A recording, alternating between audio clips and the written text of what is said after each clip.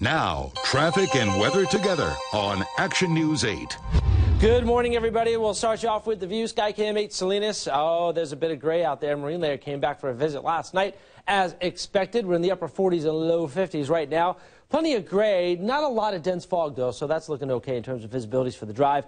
51 to 52 is about the range there. Santa Cruz, Watsonville, Salinas, and Monterey. So again, low 50s out there. We also have some rain still going uh, parts of the Central Valley. It's kind of winding down now. You can see the circulation coming out and around that area of low pressure, which is now out over parts of Arizona. Light winds this afternoon, just a slight little shift there to the west, about 5 to 15 miles an hour. So not much of a breeze today. That'll keep conditions pretty good on the bay. There's no real swell out there at all. Tiny bit of surf.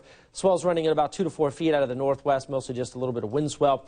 Winds again stay on the light side, especially this morning, so a good morning to run out to the hole, as they say. Look around for a little salmon, then come back in maybe get a rockfish or two or a halibut. Giants and Phillies again today, but it's a day game if you happen to have the day off and you're heading up to AT&T Park. Figure on low 60s uh, during the game, partly cloudy skies and a light breeze, so pretty good baseball weather all in all. Morning gray for us and then a mix of sun and clouds in the afternoon. Temperatures topping out in the mid 60s to low 70s and it'll be pretty typical actually uh, for springtime now. We're getting about average highs, 71 to 76 between Gilroy, San Jose, and Hollister. Again, a light breeze developing in the Salinas Valley, 70 to 76 degrees between Salinas, Greenfield, and King City. And then back out to the coast, back into the middle 60s, pretty much what you'd expect this time of year. 65 in Monterey, 64 in Seaside, at Carmel 66, down in Big Sur 66, 72 out of Bernardus Lodge in Carmel Valley, and low to mid 70s for everybody from La Selva Beach out to Manresa, back up to Scotts Valley at